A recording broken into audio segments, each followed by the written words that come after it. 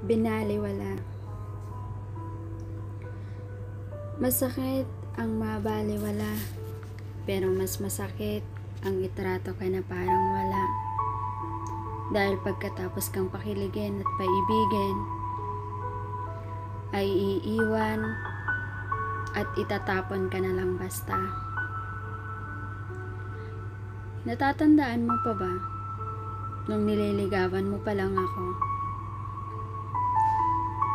na ang sabi mo ang tanga ng ex ko dahil pinakawalan ako.